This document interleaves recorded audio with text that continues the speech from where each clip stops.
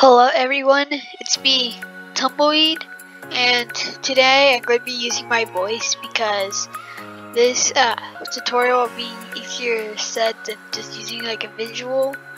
So I already made a tutorial on, on my previous video on how to make a dialog GUI. A lot of you have been asking me how to make like the, the GUI appear and not appear, and how to make an NPC talk, so we'll go on to that this tutorial. If you haven't already, you should go to my other previous video. Right now, we're going to be doing the NPC thing. So let's go to images. And if we just search up like, let's just do this red hook guy. So find an object and then go to that the part that you put it on and then you copy the ID of it. So you just delete this now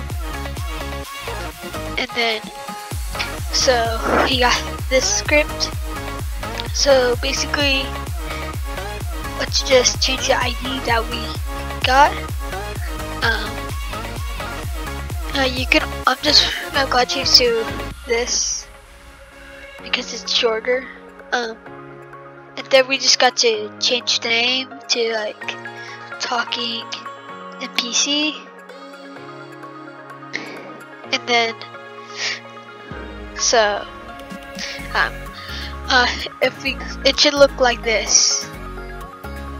Okay, let's just wait for the GUI to pop up. Um, okay. So we're going to need to.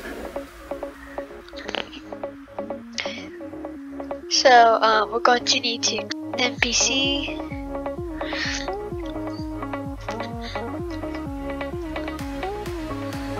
and then we can use that.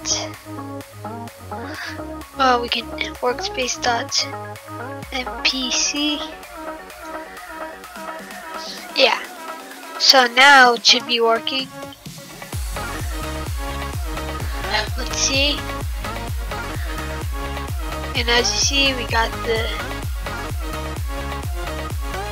so next let's do the the appearing and not appearing. So I'm going to use remote events for this. Um, let's just call it uh, appear.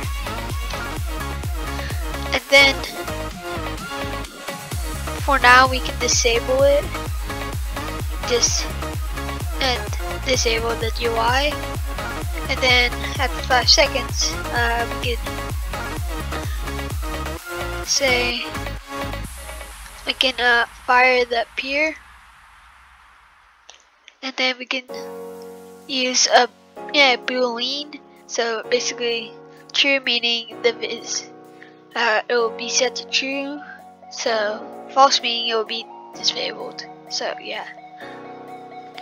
So in a workspace dot appear dot on connect function um, let's just call it boolean.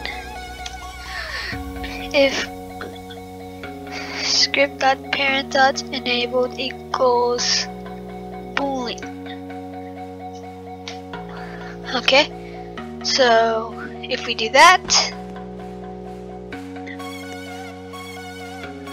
yeah, you see, so now it's, uh, it appears yeah so hope you enjoy.